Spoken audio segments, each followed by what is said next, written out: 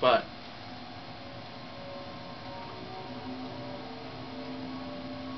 this particular self-help book was written by um, a man who is not only well, he started out life as a physicist.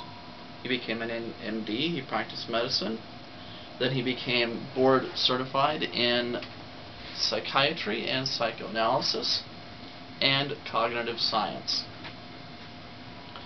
He has shown physiological evidence via MRIs and brainwave scans that the system that he has invented, it's called the identity system, and its techniques for resting what he calls identity system, getting it under control, bridging, um, to have a physiological basis. This is based in science. It's not based in feel-good anything.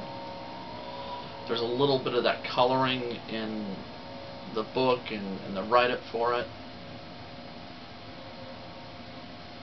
And a lot of that, I think, was the publisher.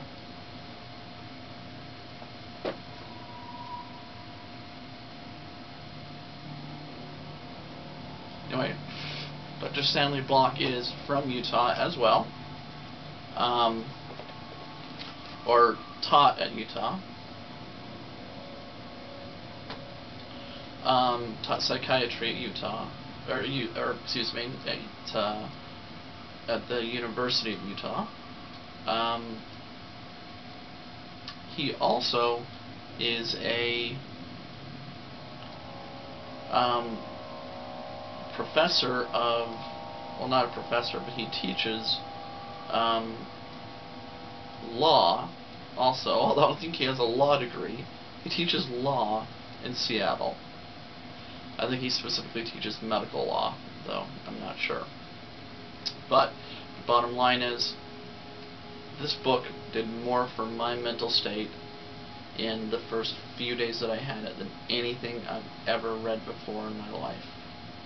Again, it's called Come to Your Senses, Demystifying the Mind-Body Connection by Stanley H. Block. You want to make sure that you get the second edition. Um, this thing um, has literally become... Oh, I should also say that the guy's a Zen master, too.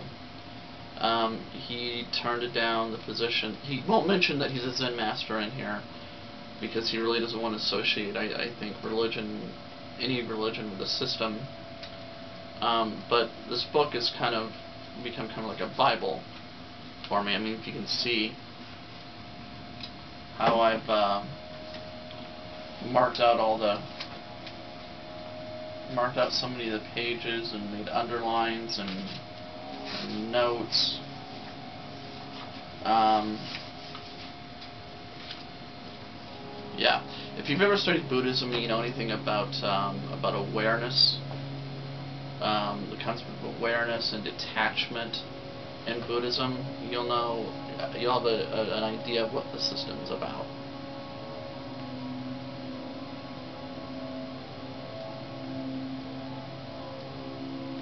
Oh, and by the way, this is not a Lord of the Rings pipe. I forget who said that.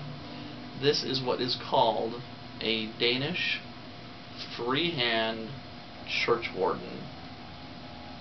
It was made by a gentleman um, who's passed away recently, unfortunately. Uh, his name was Bjarn. Anyway, um, that pretty much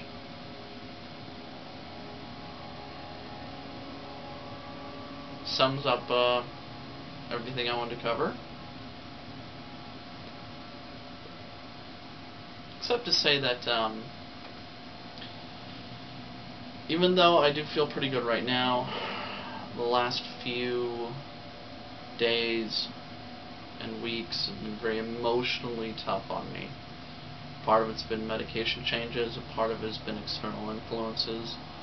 Um, some social faux pas that um, really resonated. It, it kind of hit a raw nerve in a certain place. That um, But I'm not going to go into that because, well, quite frankly, it would bore you, and I'm pretty sure you've all experienced it.